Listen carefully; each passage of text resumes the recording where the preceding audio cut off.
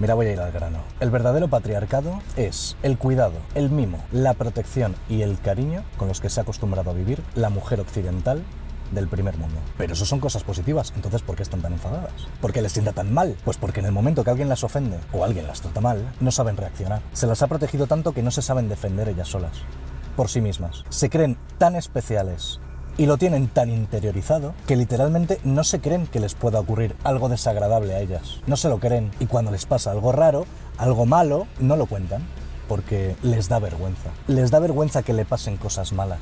Vergüenza. De pronto se arman de valor y deciden contárselo a una amiga. Y la amiga le dice, ah, sí, tía, a mí me ha pasado lo mismo. ¿En serio, tía? Sí, tía.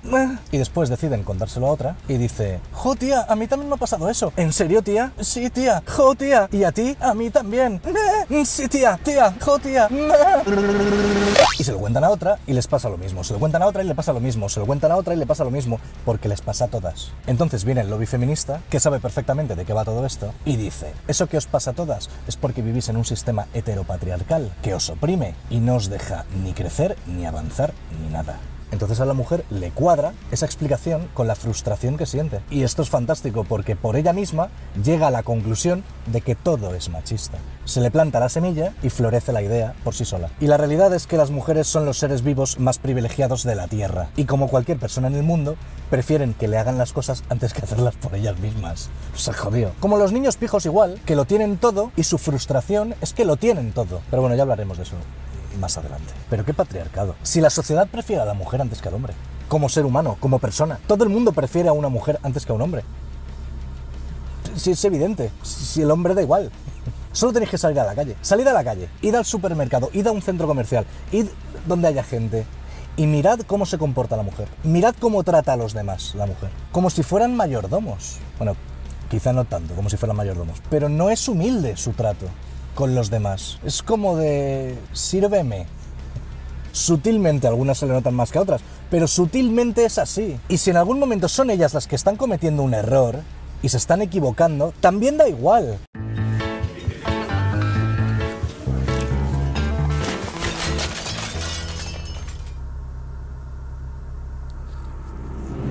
Soy yo el que le tira el café y si le voy a sonreír. Le tendría que decir, joder, macho, tío, perdóname que venía tal, no sé qué. Bueno, venga, vale, no pasa nada. Bueno, no pasa nada, o sí, depende de cómo se almenda. A lo mejor consigo algo sonriéndole, pero es una mujer. Soy mujer.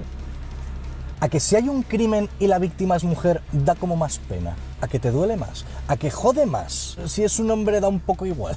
Una mujer de 28 años ha sido detenida tras matar de unas 30 puñaladas a su pareja de 56 años, en Lugones, Asturias, mientras estaban en la vivienda de los padres de ella. Bueno, algo habrá hecho él, ¿no? ¿A que sí? ¿A qué piensas eso? Por algo sería, ¿no? ¿A que sí? ¿A qué piensas eso? Ni siquiera eso. El hombre 56 años, la mujer 28 años, le dobla la edad. Típico hombre rico que se va con una jovencita para exhibirla, porque la trata como un premio, como a un objeto. Eso es violencia machista. Es el claro ejemplo del heteropatriarcado capitalista. El muerto es él, ¿eh? y la asesina es ella. Y ni siquiera eso. Claro, la chica va buscando un braguetazo con un millonetis y le ha matado porque se quería quedar con su dinero. Eh, ya, pero le ha matado. Eh, pero porque quería su dinero. Vale, pero le ha matado. Ha matado a una persona. Eh, eh. ¿Qué mata? Te la suda, por no hablar que este caso no ha salido en ningún medio de comunicación. Y tampoco dice nada de que el tío sea millonario, ni siquiera que era un tío, pero cuela. Así es la sociedad, así es la sociedad con la mujer. Se le permite todo, se le consiente todo, se le perdona todo. Viven libres de responsabilidades ciudadanas, todas las mujeres. Ahora, ¿todas las mujeres se comportan igual? No afortunadamente. Hay mujeres que se dejan de gilipolleces y se ponen a currar para tener una vida como cualquier persona. Las hay que aprovechan sus ventajas, completamente entendible. Las hay que se aprovechan de sus ventajas. Y luego están las niñas de papá, que necesitan atención, que tienen doble privilegio. ¿Os acordáis eso de doble opresión por ser mujer, ser negra?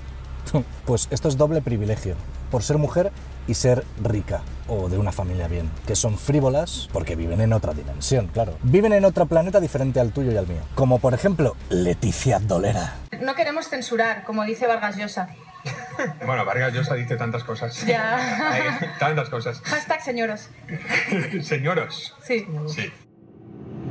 Que no entiende que para que ella pueda exhibirse desde su altar, a salvo, el hombre tiene que estar partiéndose la cara en el barro. Dice que lucha por el feminismo, cuando en realidad ha encontrado un nicho de mercado en él para vender sus putas mierdas, como muchas, muchas, muchas, muchas mujeres. Y ahora he descubierto el twerking. El twerking te mola. Pero el twerk feminista. O sea, una forma de...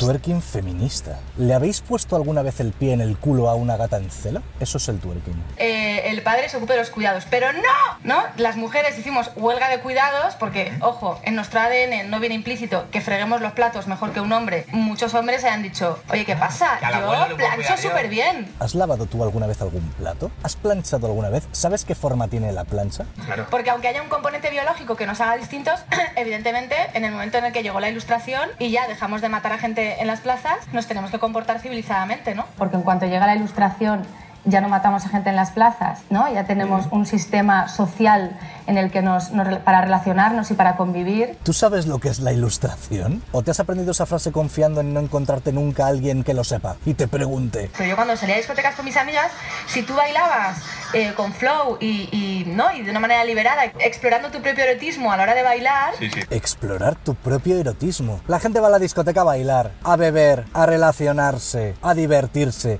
y a desconectar de la puta mierda de semana que han tenido. Eso es lo que hace la gente normal. Tú, como no eres una persona normal, vas a la discoteca a explorar tu propio erotismo. La gente normal no. las mujeres estamos infrarrepresentadas a lo largo de la historia. Solo el 7,5 de los personajes que se estudian en, en la ESO son mujeres. Cuando sí ha habido mujeres relevantes en filosofía, en pintura, en, política, en historia, en literatura, pero no han pasado a formar parte del papel. Pues cuenta la historia de la mujer, pero cuenta la verdadera historia de la mujer. ¿Qué papel ha jugado la mujer en la historia? Y ponme ejemplos, documentame, dime qué mujeres son por las que los hombres suspiraban. Dime qué mujeres han sido la fuente de inspiración para los artistas y para los arquitectos. Dime qué mujeres han empezado alguna guerra. Cuéntame la historia de esa mujer que amamantó no solamente a sus hijos, sino a todos los hijos de todas las de la aldea, porque por culpa de ciertas enfermedades no podían tener leche. Cuéntame esas historias. Eso sí me parece interesante. No es contarme qué mujeres se han colado en la historia del hombre. Mujeres poetas, mujeres pintoras, mujeres... No, no, no. No me cuentes eso. Porque si en esa época la mujer no hacía eso, cuéntame lo que hacía realmente la mujer en esas épocas. Dale visibilidad. Amplía la historia. Sí, pero una polla. que para eso hay que documentarse y tal y yo paso. A mí me lo dan todo hecho y lo escribo y ya está. Coño. Desde la ilustración no matamos a gente en las plazas. No. Además, creo que no tendríamos que llamarlo piropos, tendríamos que llamarlo acoso callejero o, o acoso verbal, porque mm, realmente lo es. Además, es muy curioso siempre como mm, nos lanzan los piropos, los... Sí. ¿Ves? Sí. ¿Eh? Sí, no hay caemos manera. en la trampa. Eh, Apunte, cuando vaya a una entrevista debo demostrar el machismo a tiempo real, en ese mismo momento. Es que no podemos escapar de él. Está tan arraigado. El tema del piropo, o sea, el piropo no hay por dónde salvarlo, ¿no? No. Nada. No. No, porque además, fíjate, solo nos dicen piropos cuando vamos sin un hombre. O sea, si voy yo sola, me pueden decir piropos. Si vamos Carol y yo y más amigas, nos dicen piropos. Ahora, tú vienes con nosotras y ni un piropo nos dicen. Claro. Porque al hombre se le respeta. Claro, al hombre se le respeta. Cuando vamos con un tío, no nos dicen nada, tronco. Tronco. Y estaba muy mal eso. te- No, si tú vas sola por la calle o con amigas y te cruzas a un tío que va con su pareja, tampoco te va a decir ningún piropo. Por respeto a su mujer, es curiosa la manera tan sutil de remarcar que a ella sí le tiran piropos. Si Carol y yo vamos juntas, Carol es esta. Carol no sabe lo que es un piropo, evidentemente. O sea, cuando le he dicho, a ti te tiran piropos, ¿piro qué? ¿No? ha pensado ella. Si vamos Carol y yo juntas, me tiran piropos a mí, no a ella. Eso es lo que quería decir en realidad. ¿Creéis que he faltado el respeto a Carol porque la he llamado fea? ¿A que creéis que le he faltado el respeto a Carol y que la he llamado fea? No he dicho que sea fea. Según su argumento, si piropear es acoso y faltar al respeto, que a una mujer no la piropen, significa que no la acosan y que la respetan. Entonces, ¿por qué parece que la he llamado fea? Pues porque decirle a una mujer que la piropean es un piropo en sí mismo y sienta bien, no es acoso ni una falta de respeto. Sienta bien. Entonces decirle a una mujer que no la piropea, sienta mal. ¿Veis la frivolidad que hay aquí? además, creo que no tendríamos que llamarlo piropos, tendríamos que llamarlo acoso callejero. ¿Te ves muy sometida a los comentarios y Eh, salidas de tono? Pues sí, sí. Mirad otro ejemplo, que ya habréis visto todos, me imagino. Joder, qué p le tienes. Oye, oye, oye, eh, ¿sabías que en Bélgica te condenan por una acción así?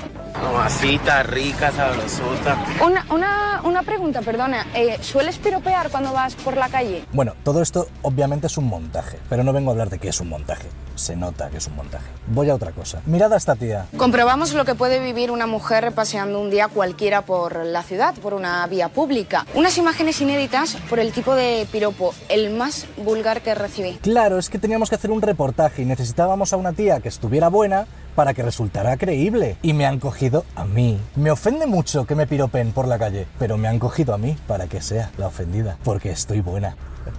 Y en realidad todo ese montaje sí que ha servido para que todos veamos a lo que se enfrentan las mujeres por la calle. Dos hombres han salido en su reportaje, gratis, sin firmar ningún tipo de contrato, ni cesión de derechos de imagen, sin saber que iban a salir en un programa de televisión, sin saber que iban a quedar como unos machistas asquerosos. Y además eran homosexuales, porque lo único que querían hacer era hacerle un favor a una mujer. Una mujer les ha pedido, por favor, salid en mi reportaje, y ellos, como favor a una mujer, lo han hecho. Esa es la realidad. Que el feminismo mola. Para, para nosotros no. Que sí, tío. No, te cuento por qué. Porque es descubrir de una la cantidad de mierda que tienes en la cabeza. No. Pero yo también la tengo esa mierda, Es ¿eh? muy duro. Dani Mateo, pero qué falso. Se comporta como una tía, se comporta igual que una tía. ¿Te imaginas, Leticia, que lo erradicas? Que no puede haber secuela porque erradicas... ¿Te imaginas? Te voy a hacer una pregunta. Sería increíble. Una pregunta. Con la misma falsedad con la que se hablan las tías. Tronco, un poquito de personalidad, tronco. Un poquito de personalidad. Mira cómo la toca. Mira cómo la toca el brazo. En plan, mira, ¿has visto? Puedo tocarte, pero no va con ninguna mala intención. He aprendido la lección. Que con este libro se erradique el feminismo... El machismo. Perdona, el machismo. ¿Te imaginas? Pero qué gilipollas eres, tronco. Risto igual. Risto. Es, Por ejemplo, cuando has llegado aquí digo, qué guapa va, pero no se lo digas, yo estoy acojonado. No vaya a ser un micromachismo de mm, fijarte en el aspecto, entonces, acojonado en el sentido O sea, de que miedo no mal. tenéis los hombres. Que esto... Bueno, algunos sí, ¿eh? Pero- pero miedo Yo cada vez tengo más miedo a decir cosas para que no se malinterpreten. Y mira que a mí, anda, que no me han dicho cosas y yo he dicho barbaridades en televisión. Tienes que tener más alarmas puestas que en otros temas. Pero entonces llegas a un momento que dices que casi no podemos hablar de esto porque no vaya yo a molestar, porque me diga, por ejemplo, una chica que está guapa, mm, porque viene guapa. Pues si te acojona poder expresarte, tronco, es que algo no funciona, ¿no crees? Se llama coartar libertades. No me atrevo ni a decirlo. Oye, habladla con más cuidado, no se vaya a romper. O el machismo no se erradica y tú te forras, pero a unos niveles, escribiendo libros sobre feminismo, pero a unos niveles, Es que- mírame los ojos, unos niveles de forrarse de que te compras No. una isla. Es que te digo una cosa. Ojalá no tuviera que existir el feminismo.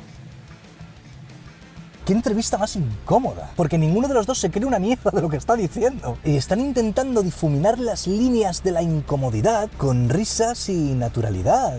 Fingen tomárselo en serio, fingen divertirse, fingen naturalidad, fingen estar en sintonía, fingen complicidad. Si se están guardando las distancias. Vergüenza.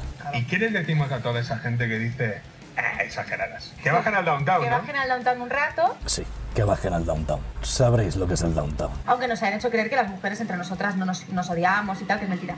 Em, entonces quizás por eso, al tener una visión menos jerárquica de la vida, también por una cuestión de supervivencia, pues tendemos a, a ser más cooperativas, a competir menos. Dios santo de mi vida. Supervivencia. Leticia Dolera tiene la misma credibilidad sacando un libro sobre feminismo que si lo sacara sobre supervivencia real en favelas. Iranchu Varela. Cuando vais a casa por la noche, en una calle, estáis solas y oís unos pasos a vuestra espalda y os giráis y es una mujer, ¿qué sentís? Alivio. Alivio. Bueno, alivio, claro. Alivio. Tranquilidad. Alivio. Eso significa que si es un hombre sentís miedo. ¿Pero qué relación es esa? Si es una mujer sientes alivio, si es un hombre sientes miedo. No, eso lo dices tú. A lo mejor sientes alivio también. ¿Qué, qué- qué adivinanza es esta? Si es una mujer, sientes alivio. Y si es un niño, sientes. Y si es un elefante, sientes. Y si es un abuelo, sientes. Que la mitad de la población vayamos por la calle con miedo, La mitad de la población no. A todo el mundo le da miedo pasar por un callejón oscuro solo. eso es violencia. No, no es violencia. Pero ¿cuál es la solución? ¿Cuál es la solución de verdad? ¿Cómo debe caminar el hombre por la calle para no asustar? ¿Cómo se debe hacer? Además, tú dices que es violencia. Entonces, ¿cómo llamarías a que la mitad de la población tengamos que estar preocupados de cómo caminar porque nos dicen que damos miedo? ¿Cómo llamas a eso? Caminar por la calle.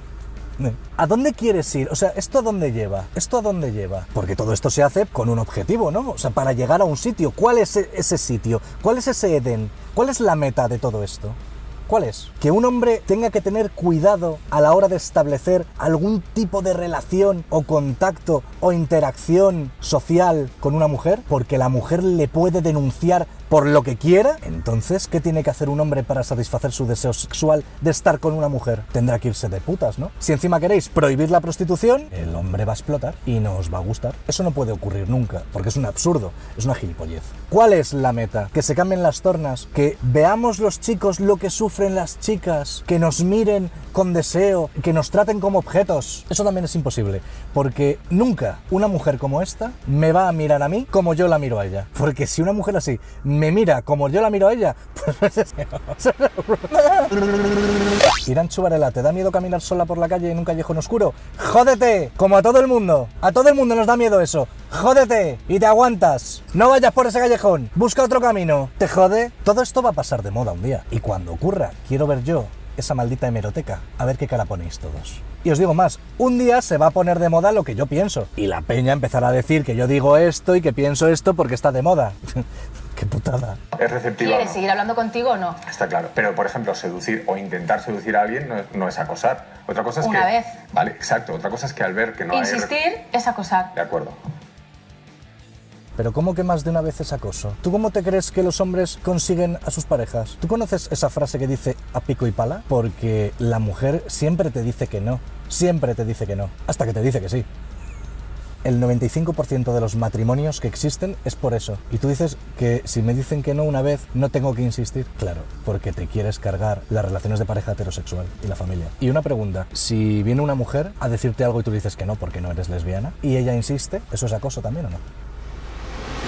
Es que todo esto no es una impresión mía, es algo objetivo. Y os lo voy a demostrar con el método del brazo colganderas. ¿En qué consiste el método del brazo colganderas? Bueno, pues es un método que yo me he inventado que se ve muy bien las intenciones de los personajes públicos. Por ejemplo, un actor pues tiene que tener varias habilidades para ser un gran actor, ¿no? Como por ejemplo la memorización. A Leticia Dolera se le da bastante bien la memorización. Tiene que tener control sobre su cuerpo, sobre su voz, sobre sus gestos faciales, eh, yo qué sé. Tiene que controlar su respiración, tiene que saber proyectar, transmitir emociones o mantener el plano durante 14 segundos. 14 segundos. Una serie de cosas, ¿no? Ser actor es muy complicado, son muchas cosas, ¿no? ¿Por qué un actor es mejor que otro? Pues porque o tiene más talento o todas esas pequeñas habilidades que requiere un actor, pues las tiene muy pulidas. Y un actor peor, hay en ciertas habilidades que se le ve el truco porque todavía no lo tiene cogido del todo, ¿vale? Entonces, cuando ves a alguien que no es actor, pues se le nota, pero para los menos suspicaces, pues os lo voy a demostrar por qué se nota. ¿Habéis visto este anuncio? Vende tu coche en Compramostucoche.es.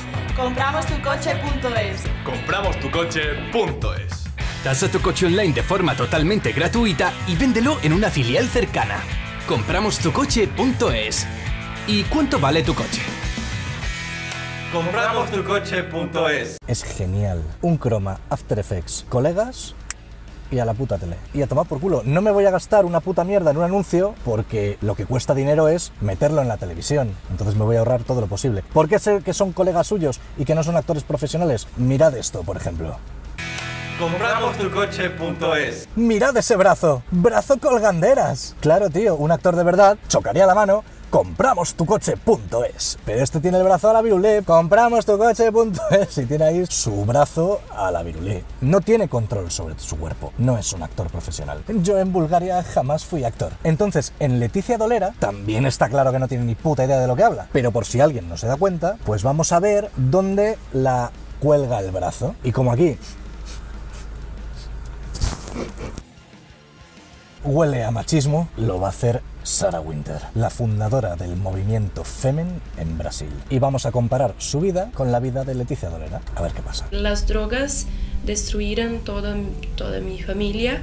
Yo tengo un hermano mayor que es adicto en drogas muy fuertes como cocaína y crack. También es parte de un- de una facción criminal muy famosa en Brasil y una de las más violentas también, llamada PCC, Primero Comando de la Capital.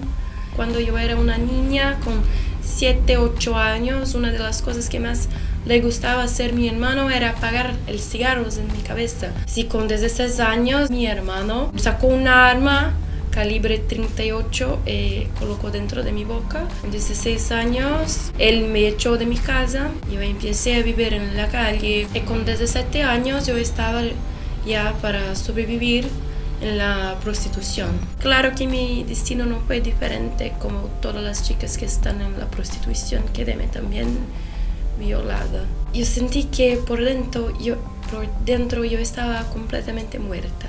Yo tenía solo 17 años. Quedéme completamente viciada en drogas, pero drogas legales como antidepresivos. Empecé a practicar la automutilación. En este contexto de sufrimiento y dolor, yo conocí con 19 años el movimiento feminista. Una única foto, una única foto.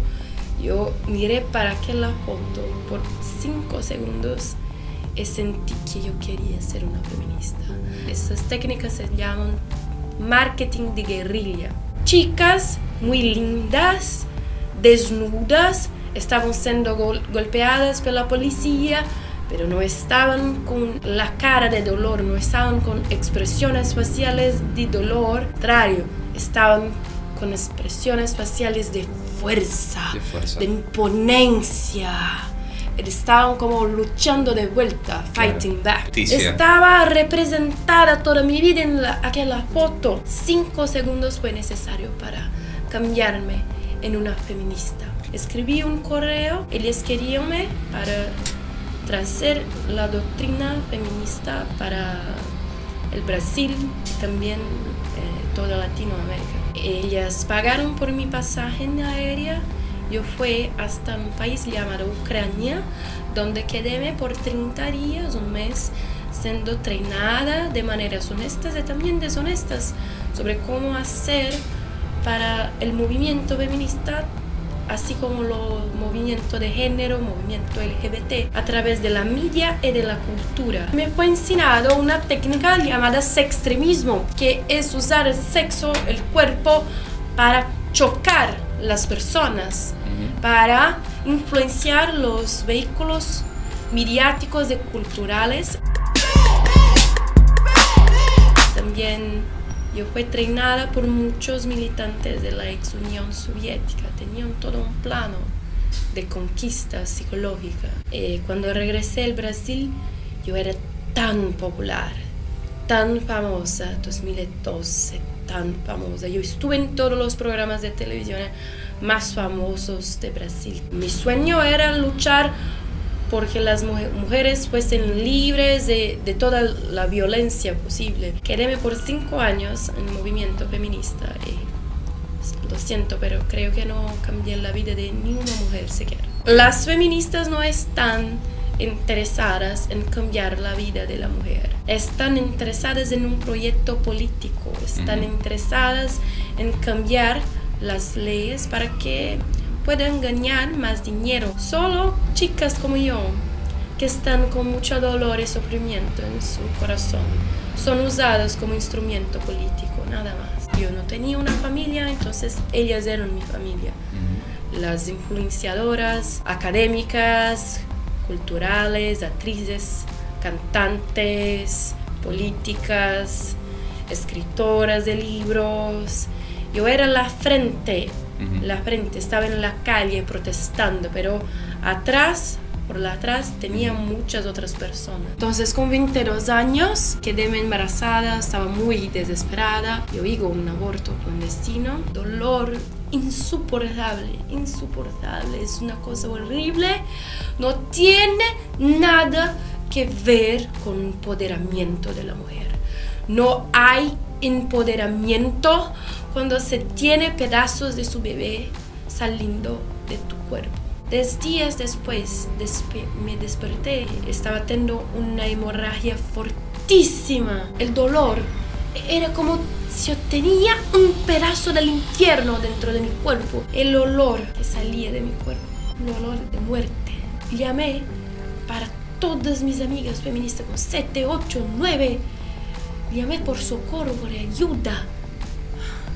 Ninguna amiga, porque en Brasil no son no solo el aborto es crimen, pero la facilitación, la complicidad del aborto también. Ninguna de ellas iría a arriesgar su libertad por mi vida. Del, dejaronme para morir. La única persona que me ayudó fue un amigo, hombre, cristiano, católico, que le llamé inmediatamente, me llevó para un hospital. Seis meses después yo estaba embarazada nuevamente. Sería incoherente de mi parte continuar luchando por la legalización del aborto, porque dentro de mi barriga, dentro de mi propio cuerpo, estaba sintiendo desarrollar la vida, un hijo varón. Hoy tengo la oportunidad de hacer lo que siempre quise, que es cambiar el mundo de las mujeres. Entonces estoy feliz. Sarah Winter. Con siete años le apagaban cigarros en la cabeza. ¿Qué estaba haciendo Leticia Dolera cuando era pequeña? Pues yo de pequeña, pues me estaba todo el día disfrazando, poniendo pelucas. Como yo era hija única, Eras hija única. no jodas. sí.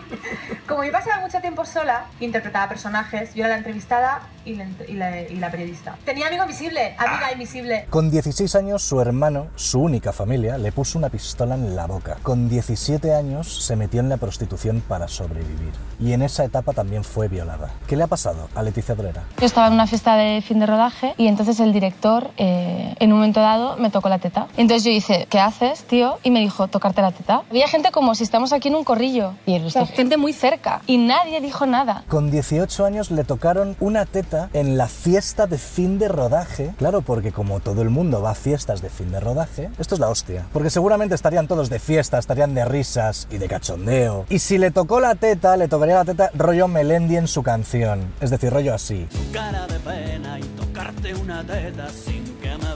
Y si no fue así, pues que se hubiera defendido. Pero no se defendió. ¿Qué es lo que ella esperaba? Había gente como si estamos aquí en un corrillo. Y o sea, gente muy cerca. Y nadie dijo nada. Exacto, que la gente reaccionara. Porque ella no se tiene que defender. Ella espera que le pase algo malo y que sean los demás los que la defiendan. Sarah Winter, con 19 años, descubrió el movimiento Femen e ingresó en ese movimiento porque representaba la rabia, la justicia y la fuerza que ella necesitaba para su supervivencia, para sobrevivir. Una niña de 19 años, sin familia, sin dinero, sola en la vida, con 22 años, abortó. Dice que no hay nada de empoderamiento en eso. También por una cuestión de supervivencia, pues tendemos a, a ser más cooperativas, a competir menos. No la ayudó ninguna amiga y que ahora puede ayudar de verdad a la mujer desde que tuvo a su hijo. que cuando llegan los hijos en las parejas, eh, la, la carrera de las mujeres se ve estancada y la de los hombres avanza más rápidamente. Que en cinco años no cambió la vida de ninguna mujer. Y mira lo que se cree Leticia Dolera. Leticia, que lo erradicas, que no puede haber secuela porque erradicas ¿Te imaginas? el problema. ¡Guau! Te voy a hacer una pregunta. Sería increíble. Una pregunta. Que bajen al downtown. Yo era la frente, la frente, estaba en la calle protestando, pero atrás, por la atrás, tenía muchas otras personas. Y ahí está el kit de la cuestión. Sarah Winter está al frente, da la cara y detrás, en su país del primer mundo, a salvo. ¿Quiénes están? Las influenciadoras académicas, culturales, actrices, cantantes, políticas, escritoras de libros. Y es el momento de recibir a una actriz, escritora, guionista, directora y persona extraordinaria. Hoy viene a vernos a Yu, Leticia Dolera.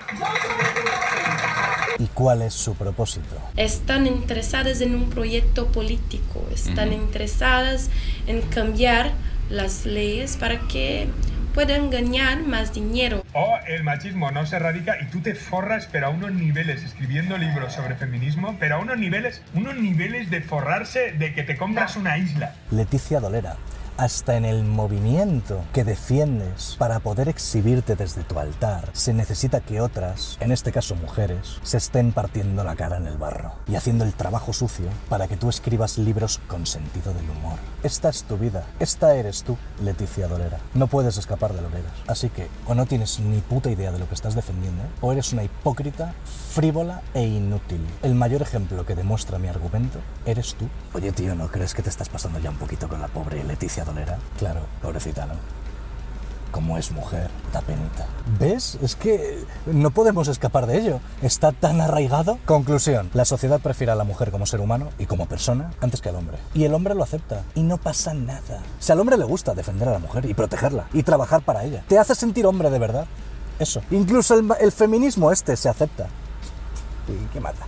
Que se diviertan que hagan lo que quieran. Ahora, con esto ya termino. Leticia Dolera, si triunfa este feminismo, ¿qué va a ser de ti? Cuando no haya hombres de verdad que te protejan y te sustenten. Cuando todos los hombres se comporten así, con el deseo sexual atrofiado y sin saber siquiera si una vagina es así o así. Así que bueno, ya os lo digo yo, amigos, porque veo que ya empieza a haber alguno por aquí. Las vaginas son así. Porque si no, cuando las chicas se tiraran por una barandilla, sonaría así.